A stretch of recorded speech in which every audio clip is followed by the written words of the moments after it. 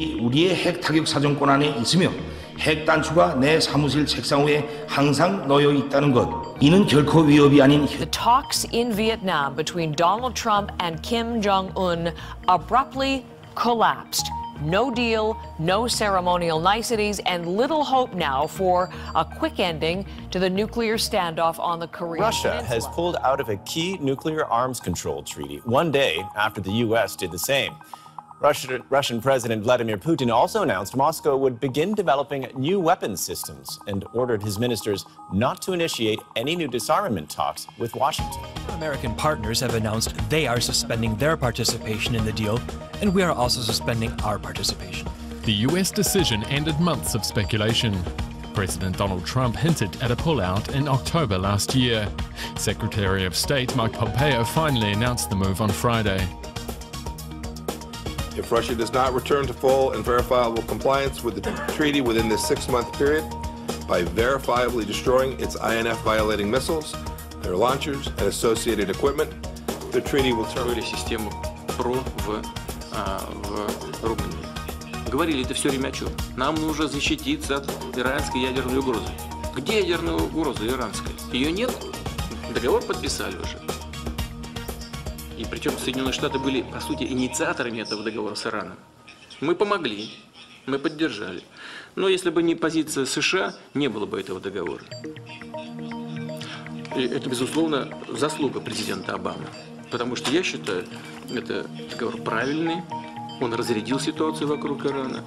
И президент Обама может записать это, безусловно, в свой послужной список как результат своей работы на этом направлении. Тащим мир вообще в, в совершенно н- новое измерение. What do I have to get involved with Putin for? I have nothing to do with Putin. I've never spoken to him. I don't know anything about him other than he will respect me. He doesn't respect our president. And if it is Russia, which is probably not, nobody knows who it is. Uh, I have uh, President Putin. Uh, he just said it's not Russia.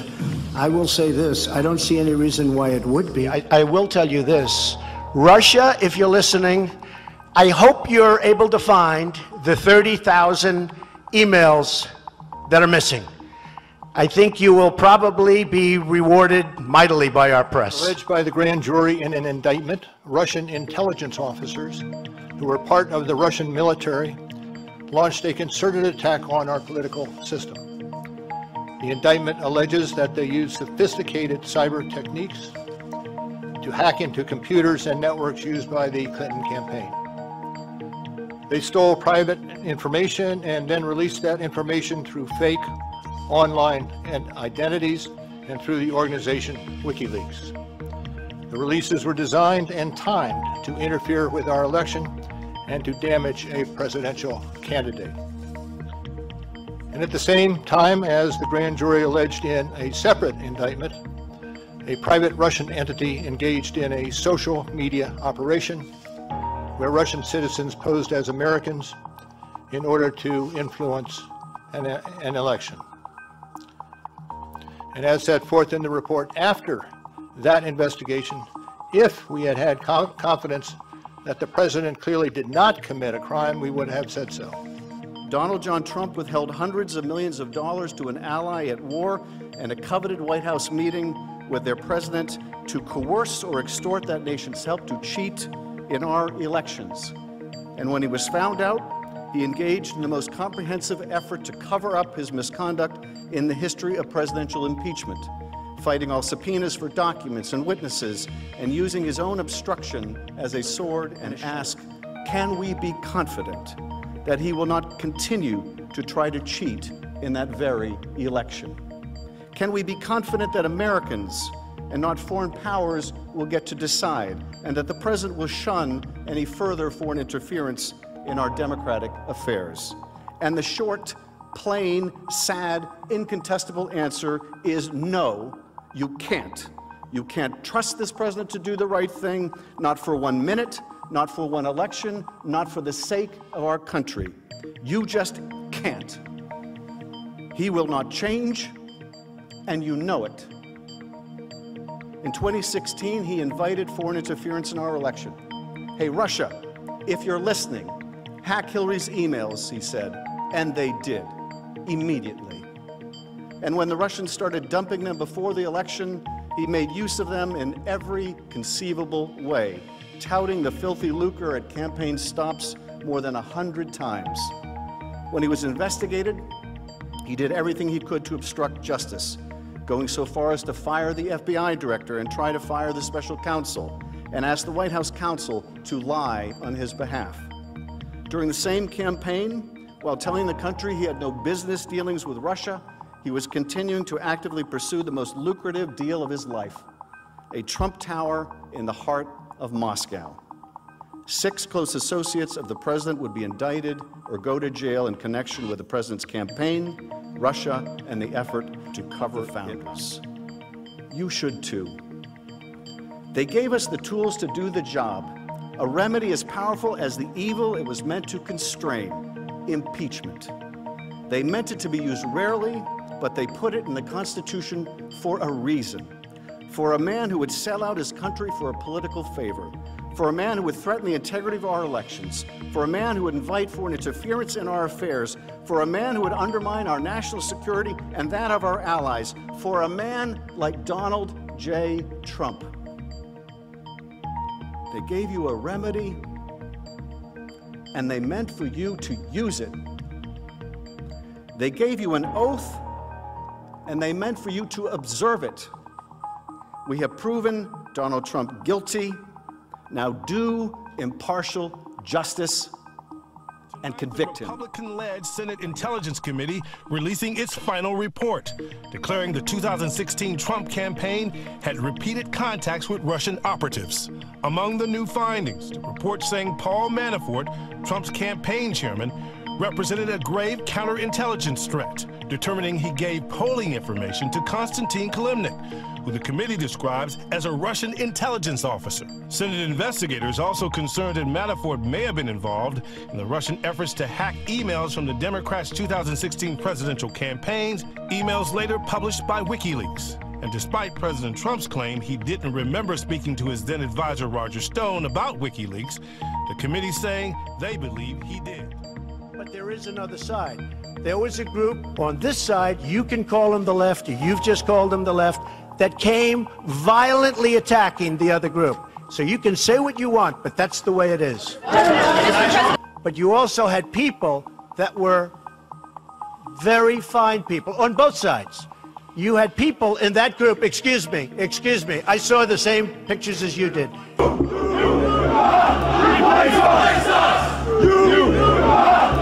Replace us! Will not replace us! Choose will not replace us! Will not!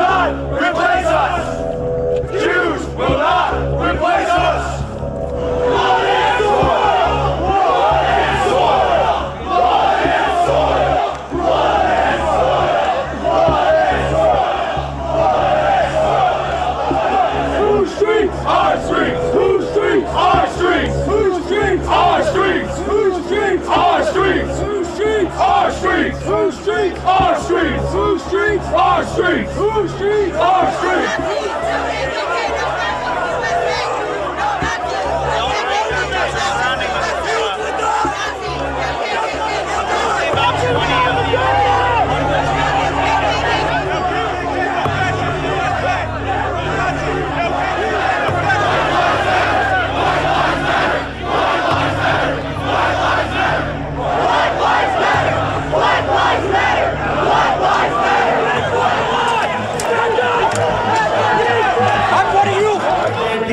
That group.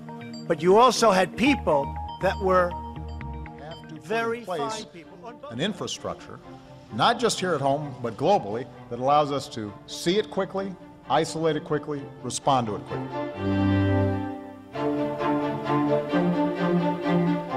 So that if and when a new strain of flu, like the Spanish flu, crops up, five years from now or a decade from now, we've made the investment.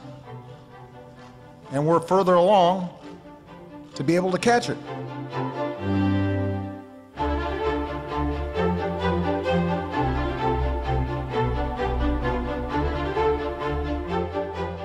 The funding we're asking for is needed to keep strengthening our capacity. There may and likely will come a time in which we have both an airborne disease that is deadly.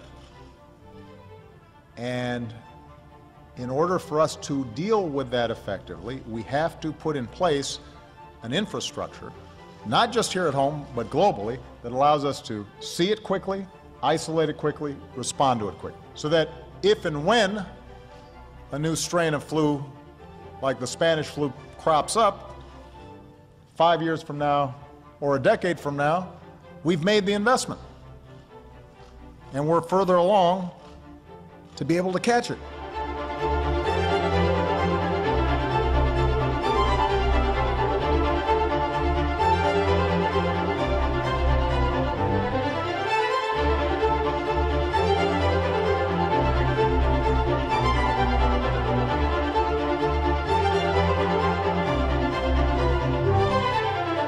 I cannot think of a better example of an area where we should all agree than passing this emergency funding to fight Ebola and to set up some of the public health infrastructure that we need to deal with potential outbreaks in the future.